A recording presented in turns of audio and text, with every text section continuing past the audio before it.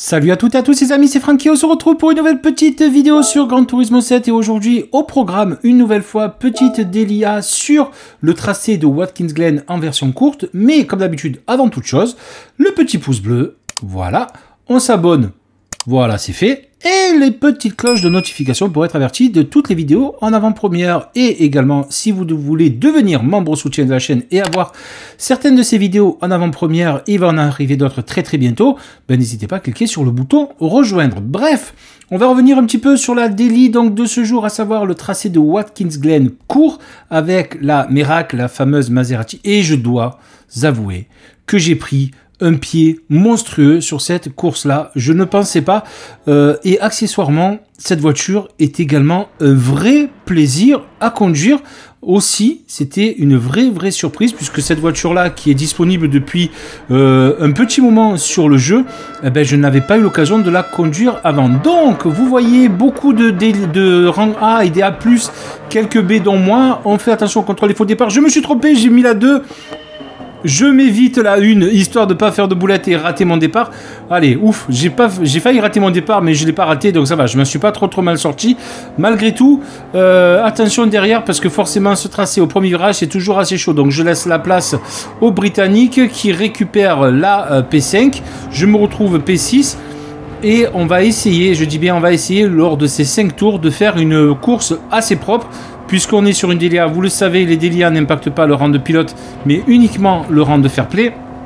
Et attention, voilà, donc justement, dans ce genre de course, ben, le plus important, c'est d'être fair et d'essayer de, faire, ben, déjà, de s'amuser, hein, c'est le principal, d'être fair accessoirement et d'essayer de faire des bons résultats. On a récupéré la P5 puisqu'on a réussi à dépasser le Britannique. Attention à ce virage-là avec la Merak et il y a une une bonne technique pour la prendre. Alors je suis pas sûr que ce soit forcément la bonne, mais cette chicane là se prend, et même d'une manière générale, euh, le, tracé, ben, en tout cas la voiture, est très favorable et propice à la conduite, plutôt en sous-régime, ou en tout cas ne pas tirer les rapports comme une mule, parce que franchement, elle est extrêmement coupleuse, et encore une fois, une très très très bonne surprise cette voiture, un vrai pur bonheur. J'ai pris un pied, voilà, j'ai pris mon pied sur cette course-là parce que c'était un vrai vrai plaisir à conduire. Attention, un petit décalage du Britannique, euh, un petit peu limite sa manœuvre pour protéger son intérieur au dernier moment.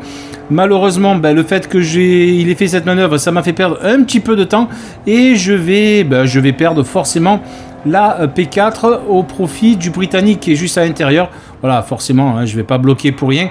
Britannique avec 2 secondes de pénalité, donc attention, il a pris 2 secondes de pénalité, il sort très très large, il est très très limite, donc euh, je vais très certainement réussir à récupérer cette euh, P4 dans peu de temps, une fois que le, il aura purgé pardon, sa, sa pénalité, et on va essayer, je dis bien essayer encore une fois, de remonter sur cette petite euh, Merak pilotée par deux Britanniques, d'ailleurs vous voyez, les deux Britanniques sont équipés de la même voiture, donc euh, c'est peut-être que je vais réussir à me faire deux Britanniques sur une seule et même, euh, un seul et même dépassement, pourquoi pas. Attention, on mord un petit peu, eh ben, les deux se sortent, voilà, ça c'est fait, donc forcément les deux vont prendre de la pénalité, le premier va prendre une petite pénalité de 5 dixièmes, et euh, celui qui est encore en P3 va prendre également une seconde, donc je récupère bah, tranquillement quelques places, 2 secondes et demie de pénalité pour le Britannique, ben, je récupère une petite P3 franchement, plutôt, euh, bah plutôt une bonne, bonne course. Donc, avant de vous laisser, comme je le fais d'habitude, avec un petit peu euh, bah, juste du replay que vous puissiez profiter du visuel de la course, on va juste parler de cette Merak et de sa façon de piloter, puisque là c'est un petit peu plus calme. Devant deux secondes de retard, derrière une seconde d'avance. Donc voilà, il y a un petit trou qui est fait et on va pouvoir aborder un petit peu la façon de conduire de cette Merak qui est vraiment, encore une fois, un vrai vrai plaisir. Donc déjà, premier virage, on freine au panneau 200, on enroule, on essaie de mordre tranquillement sur le libreur. Faut pas, trop tirer les rapports, faut vraiment aimer le, presque le, short shifting, là on tire vraiment pour la 3. Mais après, tout se passe très très cool. En tout cas, c'est comme ça que je l'ai fait. Est-ce que c'est la bonne méthode? J'en sais rien. Pour une fois, j'ai pas regardé le replay des autres. Là, j'ai vraiment roulé à l'instinct et je pense que je m'en suis pas trop trop mal sorti. Allez, on arrive sur la pardon, on va arriver sur la chicane, excusez-moi. On est en 4, en fond de 4. On reste en 4, on ne monte sûrement pas à la 5. Et là, on arrive, on freine assez tôt au panneau 300. et on laisse couler, on laisse couler, on laisse glisser tranquillement. On reste en sous-régime justement pour mieux enrouler les virages et on enroule également le premier virage. Voilà, tranquillement. En fait, elle est tellement coupleuse que pas besoin de tirer comme une mule, ça repart plutôt facilement et vraiment de manière extrêmement agréable. 5 dixièmes de pénalité pour le Britannique juste devant moi. Est-ce que je vais réussir à récupérer une petite place supplémentaire Je l'espère. Rien n'est moins sûr malgré tout. Voilà, regardez, il est en travers complet et on enroule tranquillement en 4. On ne force pas trop, on laisse rouler. Là, de temps en temps, je tombe à 4, des fois je laisse en 4, des fois je tombe à 3, pardon. Ça dépend un petit peu de mon, mon humeur, ça dépend comment j'arrive dans ce virage. Mais vraiment, elle se prend et elle se laisse conduire tout en douceur, cette miracle. Un vrai Vrai plaisir. Je crois que je l'ai dit que c'était un vrai plaisir. Je crois que ce sera le titre de la vidéo. Un vrai plaisir. Ouais, il y a de grandes, chances que ce soit le titre de la, miniature. Allez, on est à l'aspiration. On reste très, très proche. On va prendre un petit peu de vitesse grâce à ça. Alors attention, toujours pareil, c'est compliqué l'aspiration quand tu es en survitesse, que tu as des points de freinage.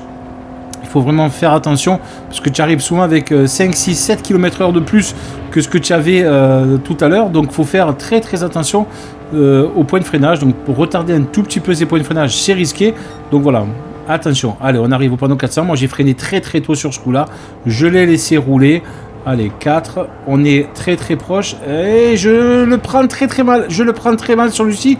Ça m'a fait perdre un tout petit peu de temps. Là aussi, j'enroule très très mal. Je sors trop large. Pas assez à l'intérieur.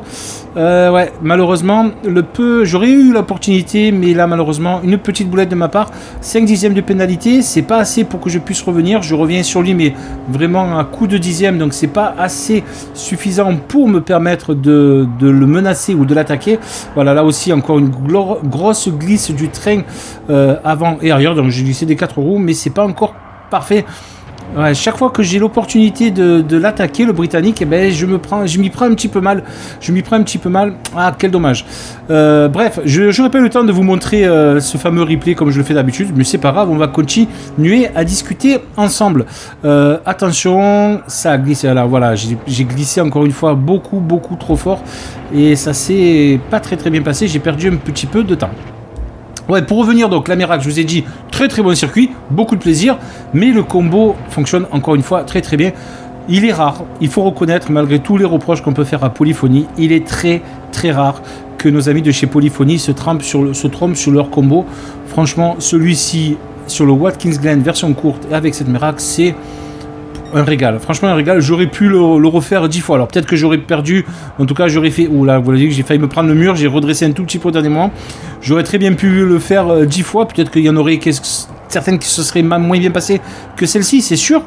Mais encore une fois, ben, le combo marche très très bien. Je parle pas de la bagarre, je parle juste des sensations qu'on a sur ce tracé-là avec cette voiture-là j'ai ouais, rarement, depuis en tout cas depuis très très très longtemps sur une Delia, j'avais trouvé que le combo était aussi réussi pour moi.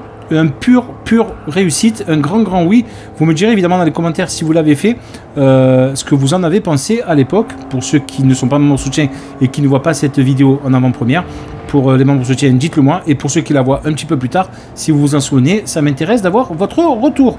Bref les amis, allez, petite P3 honorable P3 compte tenu de l'adversité 1 A+, 1A, je finis devant 1 A+, devant quelques A. Ouais, plutôt content malgré tout de ma course compte tenu de l'adversité du jour qui était quand même extrêmement relevée. Donc euh, ouais, je m'en sors pas trop trop mal euh, et je suis assez content de ma perf. Les amis, on va se quitter là-dessus. N'hésitez pas à laisser des petits commentaires, des petits pouces bleus si cette petite vidéo vous a plu. Et nous on se dit à très bientôt pour une nouvelle aventure. Salut à tous.